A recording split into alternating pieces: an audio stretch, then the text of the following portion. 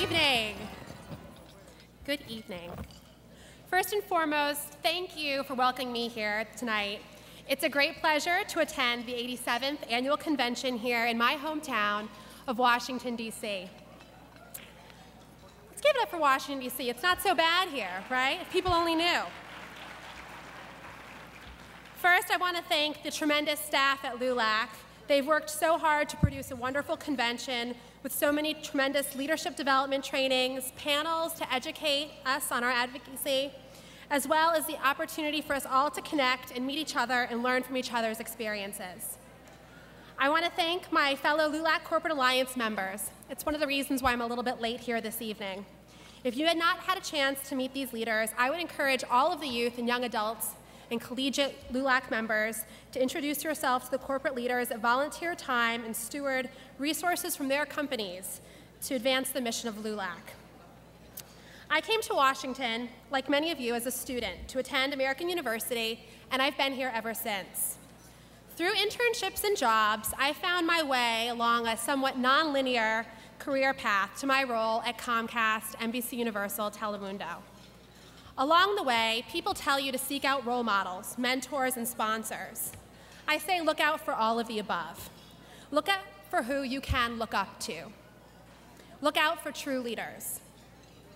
In the remaining time I have, I want to talk about something that I've given great thought to during the past few months. Leadership. What constitutes a good leader? When we're children, we admire our siblings, our parents, maybe superheroes or Jedi Knights. We may always admire these people and seek their guidance. However, as we get older, the list of attributes we look for in a leader tends to change. For many people here, we begin to admire those icons we learned about in a textbook or a movie who persevered to use their ingenuity to solve problems in their communities. We begin to realize that to be a leader requires time, energy, perseverance, and a commitment to better yourself as well as your community. I've known Brent Wilkes for many years, and he shows the tenacity and leadership that I think is involved in being a great leader. He fights for the underdog and champions people who need a champion the most. Before it was cool to think about technology policy and the internet, Brent thought it was cool and spent a lot of time championing issues that didn't get too much coverage here in Washington. He is one of the most, if not the most knowledgeable advocate in Washington on what it takes to close the digital divide. He has been on the ground, in the computer labs, in the schools, in the LNESC centers, helping connect families to the internet one by one. Hey, it is cool. Listen. Last year, Brent and I traveled to Silicon Valley, where many of the big internet companies were based. And our goal was very simple to help connect Latinos to the internet and to work on advancing Latinos in those companies. Brent successfully organizes the community to get the job done. He knows that success isn't creating an event or issuing a press release. It's not about making a big speech or talking onto the television. He knows it's about bringing people together and treating everyone with respect, regardless if they are a student, a nonprofit worker, or a corporate partner. And that's what brings us here tonight. Tonight we're celebrating the LULAC youth and young adults who are doing work to make change happen at the grassroots level in their communities. I am proud that we can be with Comcast NBC Universal Telemundo here tonight to support the youth doing this work. And I'm very proud of the work we're doing here in Washington and in all of your communities to get that work done. Comcast is a leader to create opportunities for all Americans in the new digital economy. We do it with a battle-tested partnership with LULAC. Earlier tonight, we made a very important announcement with Secretary Julian Castro from the Department of Housing and Urban Development. Many people may have heard of Comcast's Internet Essentials program, which gives low-income families access to internet at home for $9.95 a month. Started five years ago with the National School Lunch Program, we serve high-speed internet as well as give families the opportunity to buy a tablet, laptop, or desktop computer for under $150 with in-person or online digital training.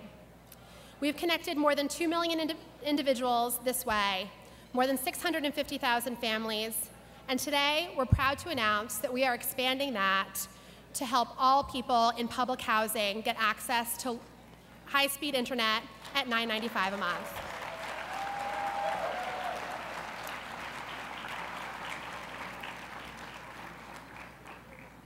I think that's true leadership. It's seeing the problem, recognizing there's a problem, and then using all the tools in your arsenal, building partnerships to get the job done. And it's something that we wouldn't be able to do without our phenomenal partnership with LULAC. I challenge each of you to find the leaders here tonight and in your different paths, people you admire, and people who will encourage you to challenge yourself, better yourself, and better your community. Comcast NBC Universal is proud to support the LULAC Youth and Young Adults Gala tonight, and we wish you a wonderful convention. Have a great night.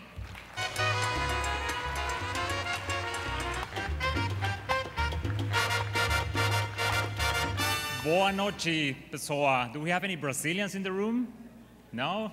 All right. Buenas noches, entonces. Good evening. It's a pleasure and honor to be here tonight representing Dell. As I was uh, flying this morning from the other capital, from the capital of music, Austin, Texas, I was thinking to myself, what kind of message can I give to this amazing group of young talent? And I thought about what I include in every email that I send.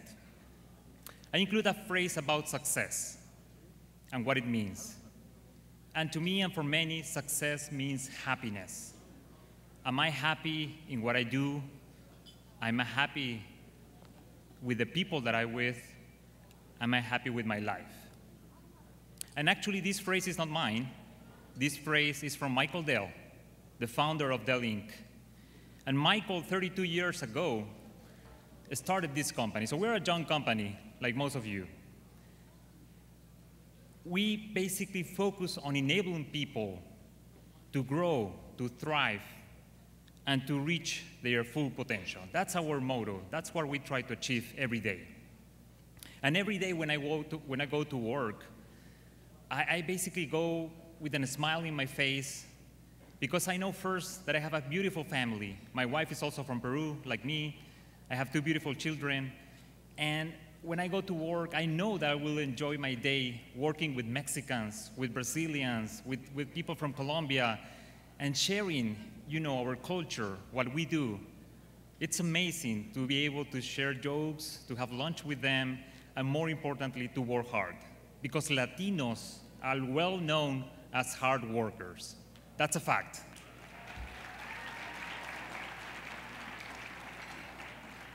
And we set the stage or the bar very high for each of us, and that's actually something that you should aim to.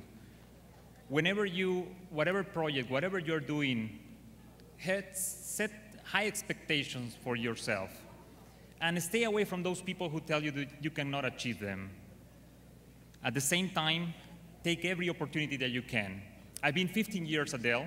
I have about 10 different roles, and I have enjoyed and learned from each of them. Dell is a company that focuses on diversity. Uh, to give you an idea, we are number 28 in the ranking of diversity the, among companies. We went up three ranked stack uh, since last year. We are in more than 40 co countries one of the best companies to work for. And at the same time, we focus on developing um, diversity inside Dell. We have 13 different resource groups. One of them is about Latinos. It's called Adelante. And we focus on developing our communities and obviously developing the Latinos inside Dell.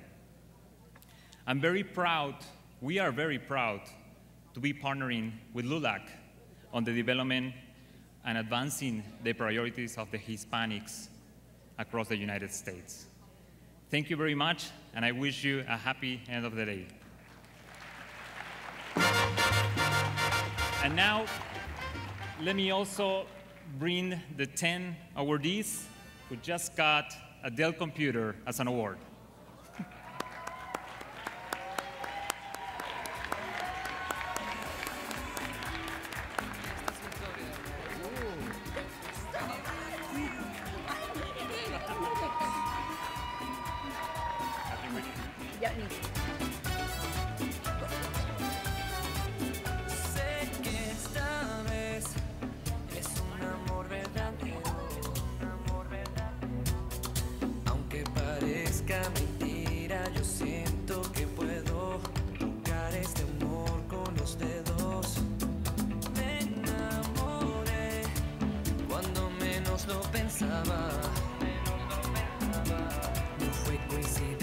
aquí